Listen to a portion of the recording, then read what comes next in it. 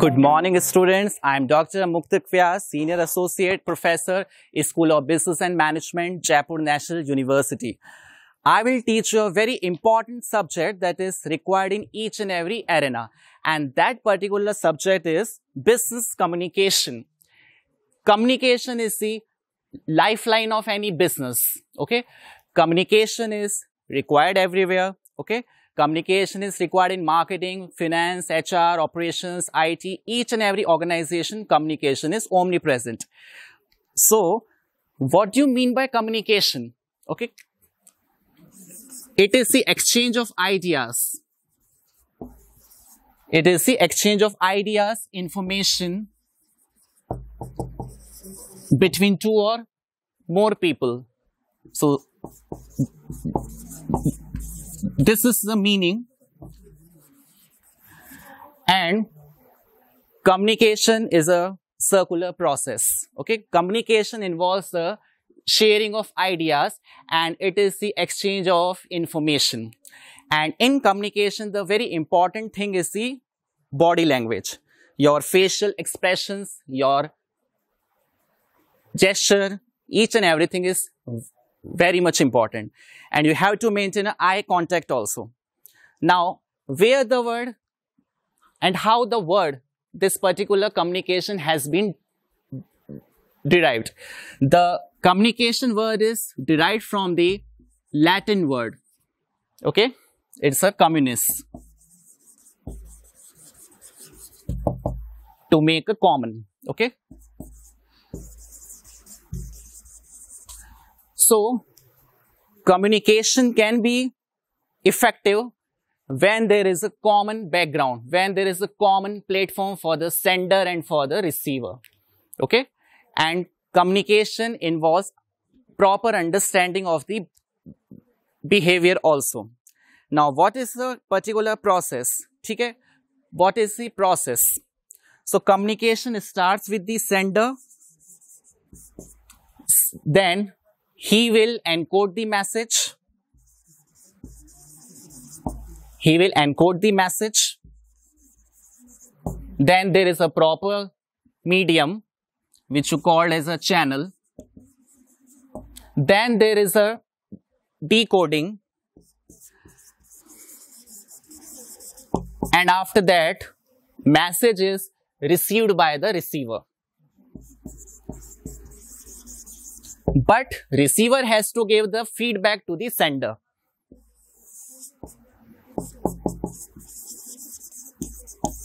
So we can see communication is a, is a particularly important process. It starts with the sender, it ends with the receiver with a proper feedback. Now, there are two types of communication. Verbal communication, non-verbal communication. In the verbal communication, there is the use of words and in the non-verbal communication, you use a para-language, you use the gesture, posture, body language, eye contact, each and everything. Now, what are the types? Verbal communication and non-verbal. Verbal communication involves use of words when you speak okay? It can be divided into two types. One is the oral communication and another is the written communication. In the oral communication you try to use the words but with a oral message.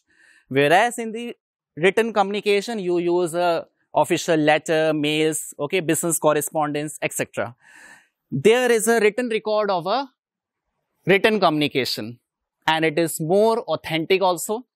In the oral communication, you cannot keep a record. But uh, due to ICT, information communication technology, we can make a record of the oral communication also. Okay. Now we come to non-verbal communication. Non-verbal communication starts with your body language. Body language occupies 70% of your total communication and 30% is your verbal communication. So, non-verbal is 70% verbal is only 30%. First impression is the last impression. Okay. So, when any candidate goes for the interview, the way he dresses himself or herself, the way he make eye contact, the proper appearance, okay, that is very important. 70%. It has a weightage of complete 70, 70%. Now, second is the eye contact. If a, if a small young guy, he tells a lie to the mom, he cannot make a eye contact. So eye contact depicts the confidence, that how much confident you are. Then third is the posture gestures. Posture gestures are also important. Okay. Your expressions, the way you carry yourself, each and everything. Because non-verbal communication is more important than the verbal communication. Okay, so these are the two types of the communication. Now we come to objectives. Like, what are the objectives of the communication? There are many objectives of communication. We will see them one by one.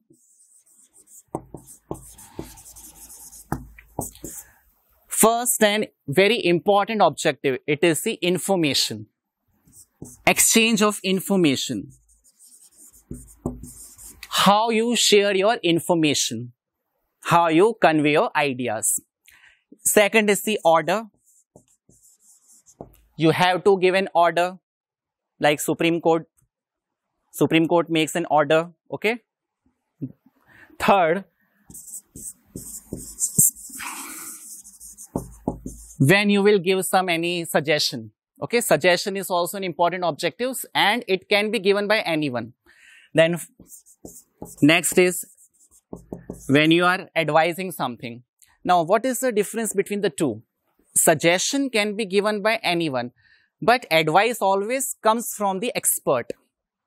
Then warning.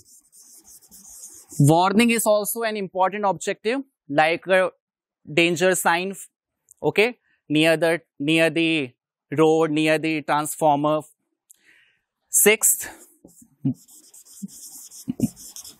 motivation when you are influencing the influencing the audience when you are encouraging them. So motivation is also an important objective. Next raising morale. Raising morale means to give proper passion to energize the people, to raise their team spirit. And last is influencing someone. So these are the eight objectives. Okay. But the important objective is the exchange of information. Okay. Now we come to seven C's of the communication. What are the seven C's.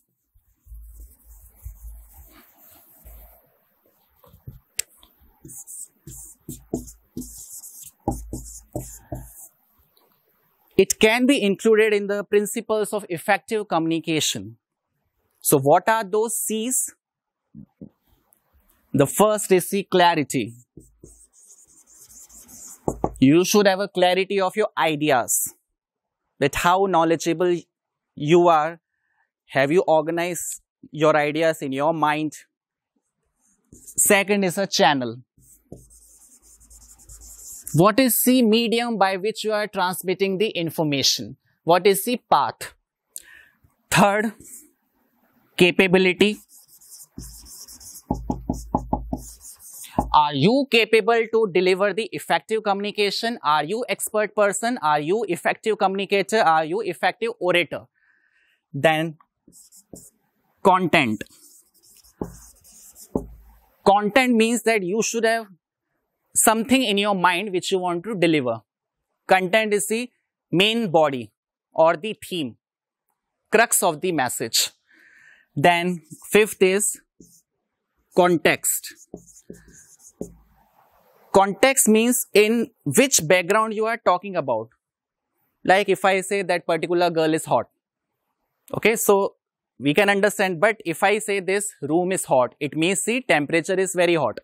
So contextual usage is important because most of the misunderstandings occur due to wrong usage of the words in a wrong environment.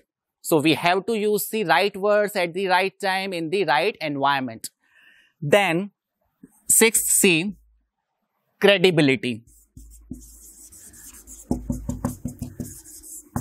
So credibility is important because you have to be, you have to have a trust.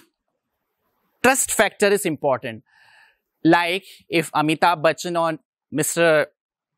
Narendra Modi, Prime Minister, he deliver any speech, you feel very elated, you feel there is something truth in that. So that is called as a credibility. Okay? And last C is the completeness. Communication has to be complete in all the aspects. It cannot be incomplete. Okay, so these are the seven C's. Now we come to 4S.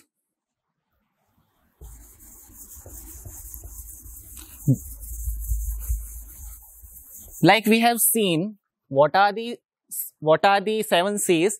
Now we come to 4S. First is simplicity. You don't have to use a difficult words. You don't use the jargons or the technical words. You do not have to show that you are a admirer or you read your dictionary, vocabulary.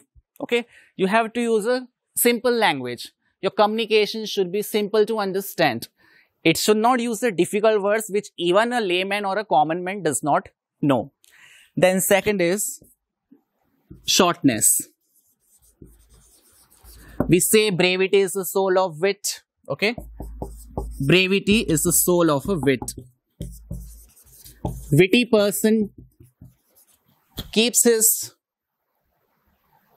messages and ideas in a very short sentences. So brevity is the soul of a witty person. So your communication has to be concise. It has to be to the point. It cannot be lengthy. It cannot be complicated. It has to be logical, meaningful, concise. Third, sincerity. You must be honest in your communication. See, communication is an irreversible process. The words spoken by you, you cannot take those words back. Okay? Like whatever words you have, whatever words you have uh, gone, uttered, then it cannot be taken back by you. So communication should be honest. Your speaker has to be honest sincere and strength. Your communication should be strong. It has to be powerful. Okay. So these are the four S of business communication. Now, why business communication is important? Why it is important in the present organization? Okay. As I said before, communication is the life blood of a business. Okay. An organization without communication can never be successful. Success of any organization depends upon the proper communication. Like there are many entrepreneurs, Aditya Birla, Kumar Mangalam Birla, Ratan Tata, Narayan Murthy. So they are effective communicators. Shiv Khera, okay. So what is the importance? Why business communication is important? Okay. So very important thing is it is it is helpful in proper planning. So when you want to go for a plan, you will go for business communication. Communication helps in planning each and everything. Like suppose in if each and every person, they don't talk to each other, they don't negotiate with each other, then there will be no proper planning. Second, decision making. Communication helps in proper decision making because if you don't take a decision, there will be a problem. Third, better control. Communication helps in proper monitoring, proper surveillance, proper vigilance also. Then democratic functioning. You know Hitler, he was an autocratic man, he was an autocratic leader. So participative management can only be achieved by communication where each and every person has a right to say or a freedom of speech, freedom of uh, expression. So democratic functioning of the organization will only take place if there is a proper communication. Then conflict resolution. Conflict can be solved if there is a proper communication. All the misunderstandings, all the disputes, all the quarrels, they can be solved by a proper communication. Like in the marriages also, the main reason for the divorce is the misunderstandings. So if both husband and wife, they don't talk to each other, they don't communicate with each other, they make the impasse in their mind. They make a deadlock in their mind. So communication helps in reducing the disputes. Then next is boosting morale. Morale will be boosted by communication. Your spirit your passion, your enthusiasm, all can be boosted by the proper communication. The next importance is employee satisfaction. Employees will be satisfied. And if employees are satisfied, obviously customers will be satisfied. And if employees are dissatisfied, customers will also be dissatisfied. And there will be reduced strikes labor turnover will be less. Like if a top management does not communicate with the fellow people, with the workers, then the that particular employee will not work in that organization. So it helps in talent management also. Business communication helps in retaining the people. It helps in managing their talent. Next, molding attitudes. Attitudes can be molded by communication. If you do not talk to each other, your attitude, your compatibility, your chemistry, your temperament will not be matched. So your attitude can only come at equal level if there is a proper business communication. And the last importance, it improves the goodwill of a company. Reputation of the company improves if there is a proper communication. So communication, as I already said, it is the lifeline of the business. It is omnipresent. It is required everywhere. So this is the importance of the communication. Now, in the next lecture, I will talk about the channels. Okay, thank you so much. Thank you very much.